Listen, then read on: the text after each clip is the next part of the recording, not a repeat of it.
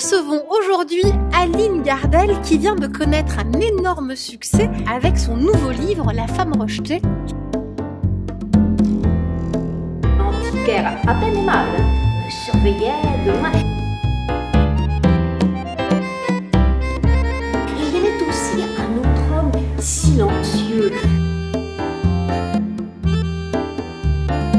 Vive les rêves qui permettent à la vie de rejaillir, vitalis.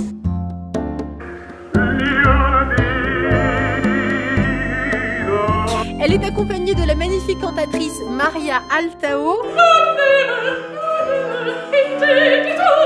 savez que Saint Augustin s'épanche très souvent sur le sort de la reine de Carthage, Didon, qui dans la légende est rejetée.